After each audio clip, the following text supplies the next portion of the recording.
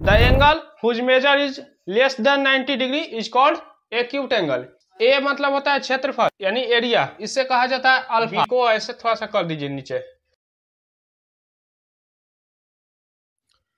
तो दोस्तों पिछली वीडियो में हमने इन सभी चीज़ों के बारे में समझा था। तो उसी को आगे बढ़ाते हुए आज के इस सेशन को स्टार्ट करते हैं।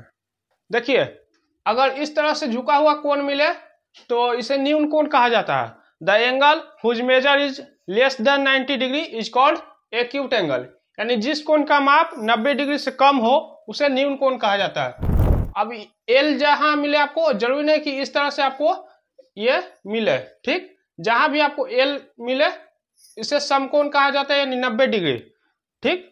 और जब इस तरह से मिल जाए, इसे अधिक कोण कहा जाता है, ठीक? समकोण को अंग्रेज़ी में राइट एंगल कहा जाता है। अधिक कोण का मतलब जिसका माप 90 डिग्री से ज़्यादा हो। ए मतलब होता है क्षेत्रफल, यानी एरिया इस टाइप्स का सिंबल आपको मिलेगा इसे कहा जाता है त्रिभुज, यानी ट्राइंगल देखिए, जब आप मैथ के सॉल्व करेंगे क्वेश्चन जैसे टेंथ क्लास में त्रिभुज चैप्टर है तो उसमें जब भी क्वेश्चन मिलेगा, उसको सॉल्व करते हैं, या फिर क्वेश्चन में दिया हुआ रहता है, इस तरह का सिंबल रहेगा ए बी सी का क्षेत्रफल इतना है। इसका मतलब आपको समझ जाना है कि त्रिभुज ए बी सी का क्षेत्रफल दिया हुआ है। चलिए इसे कहा जाता है सिग्मा। ये भी क्लास टेंथ में पढ़ना है। जो नाइन्थ में भी पढ़ना है मतलब माध्य माधिका बहुलक इस होता है क्वेश्चन तो उसमें डायरेक्ट ये सब क्वेश्चन लिखा होता है। तो आपका समझना है कि सिग्मा है, ठीक? और इसका मतलब होता है कि से निष्कर्ष निकलता है। ये जो सिंबल है, इसका मतलब है बड़ी कोस्ट ठीक? और ये मंजिली कोस्ट और ये छोटी कोस्ट चलिए, वीडियो को आगे बढ़ाते हैं और कुछ लैटिन भाषा के बारे में जानते हैं, जैसे अल्फ़ा, बीटा, गामा होता है। तब तक आप इसको पोस्ट कर स्क्रीनशॉट ले लीजिए।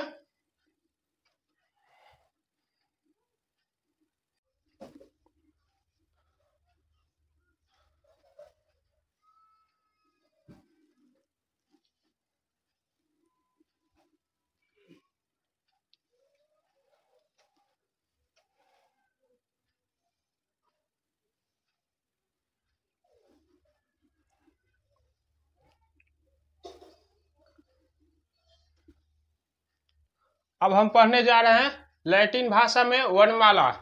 देखिए इससे कहा जाता है अल्फ़ा। जो आप अंग्रेज़ी में ए लिखते हैं, देखिए, ए है स्मॉल ए बस इसको ऊपर ऐसे थोड़ा सा कर दीजिएगा, ठीक? हम लोग ऐसे लिखते हैं, ऐसे। तो ये हो गया अल्फ़ा, और ये जो है बीटा हो गया। ये आप छोटी बी लिखते हैं तो बी को ऐसे थोड़ा सा कर दीजिए नीचे। हो गया बीटा। हम लोग ऐसे लिखते हैं, नीचे से ऐसे करके, ऐसे। ठीक? और ये हो गया गामा, जो आप वाई लिखते हैं, उसी को थोड़ा सा इधर से इधर कर दीजिए, इधर से ऐसे, और ये खींच दीजिए, ऐसे। ठीक? ये हो गया डेल्टा, और ये हो गया थीटा। थीटा मतलब एंगल को माना जाता है। जैसे अगर किसी त्रिभुज में एबीसी में जो एंगल बी है, वो साठ डिग्री है। तो हम लोग मान लेते हैं कि थीटा बराबर साठ डिग्री, ठीक? आपको इस तरह से समझ लेना है। थीटा का प्रयोग एंगल के लिए होता है।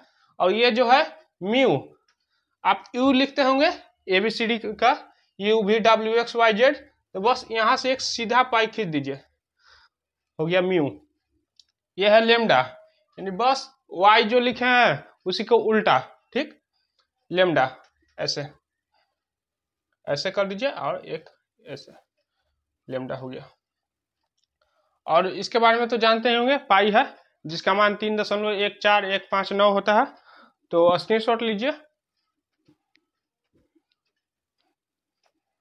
तो आज की इस वीडियो को हम यहीं पर ख़त्म करते हैं। दो वीडियो में हमने सभी चिन्ह के बारे में समझा, और भी बहुत सारे चिन्ह हैं जो आपको अभी नहीं पढ़ना है, बाद में पढ़ना है हायर क्लास में तो वो हमने छोड़ दिया। ठीक? ये सभी आपको टेंथ तक काम आ जाएँगे कुछ कुछ ट्वेल्थ तक भी काम आ जाएँगे। मिलते हैं अगली वीडियो में। कल से हम जो सम संख्या, विषम संख्या, प्राकृत संख्या, ये सब के बारे में पढ़ेंगे। इस वीडियो में आपको क्या कुछ नया लगा, वो पॉजिटिव पॉइंट हमें कमेंट कीजिए। साथ ही, अगर कुछ खराब लगा तो वो निगेटिव पॉइंट भी हमें कमेंट कीजिए, ताकि उससे निष्कर्ष निकालकर हम अगली वीडियो में आपके लिए सुधार करें और अच्छा से अच्छा कंटेंट आपके लिए ला सकें। मिलते हैं अगली वीडियो में, तब तक के लिए जय हिंद।